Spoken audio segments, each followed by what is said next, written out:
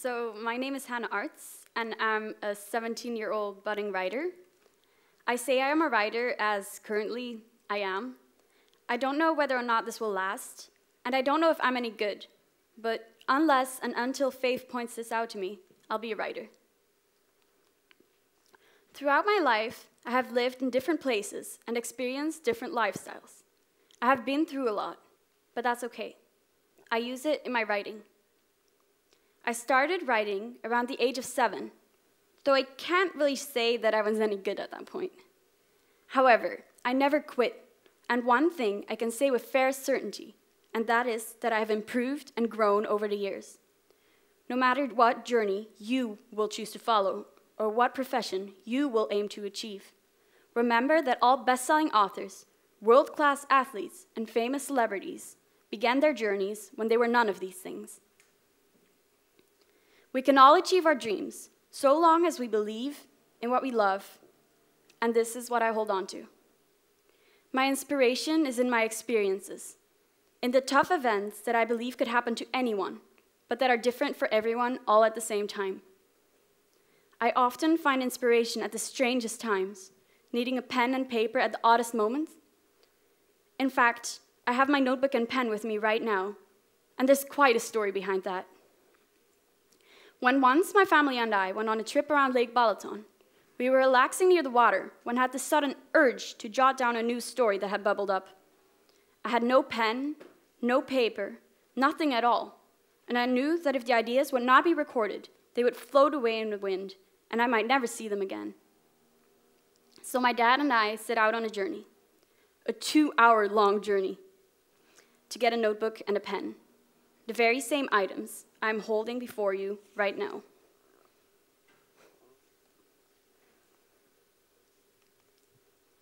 I knew from the start I had to find them, no matter how long it would take, and no matter how much I'd have to walk.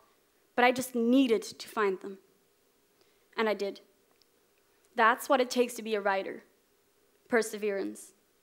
Famous authors, bestsellers, would tell you the exact same thing. Stephen King's Carrie was rejected dozens of times. And so was J.K. Rowling's Harry Potter and the Sorcerer's Stone. William Golding's Lord of the Fly was rejected by 20 publishers, and John Grisham's A Time to Kill by 28. Where would they have been had they given up after their first 10 queries? Where will I be in several years? What if I don't follow my dreams? Don't follow the urge to spread my knowledge and inspire others? People before have asked me, as an author, aren't you afraid of rejection or of never reaching an audience?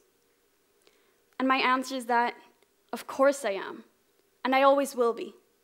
But I'm standing here, and this is quite an audience, isn't it?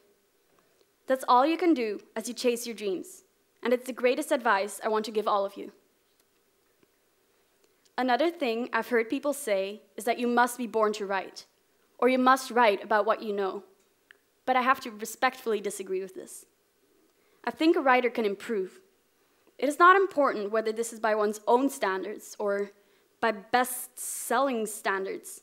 What matters is the sheer fact of improving continuously. Also, writing about what you know can help you make the scene come alive. You know what you're talking about, and this will shine through. But don't be afraid to build on your own experiences and extend them. As long as you are sure of your facts, you can explore and guide your reader on a journey. This is what I do in my own writing. This does, however, bring me to my next point writer's block. Writer's block is the inability to proceed in a piece of writing, and I believe it happens to anyone and everyone who has ever written anything creative. However, as Ernest Hemingway said, all you have to do is sit down at a typewriter and bleed. And he is right. It may not be as easy as the quote might make it seem, yet it is vital to push through. The only way to keep going is to continue writing, no matter how much you might hate it as it flows out of your pen. There will always be time later to look back and edit, but you first have to write your way through the blockade, to put the building blocks that will construct the house, brick by brick. Writing is magic. Why do I write? I want to recreate this magic, to spread messages, and to trigger thinking about important issues. When writing, just like with reading, we can live a thousand lives, while the ignorant person lives only one. That is why I write.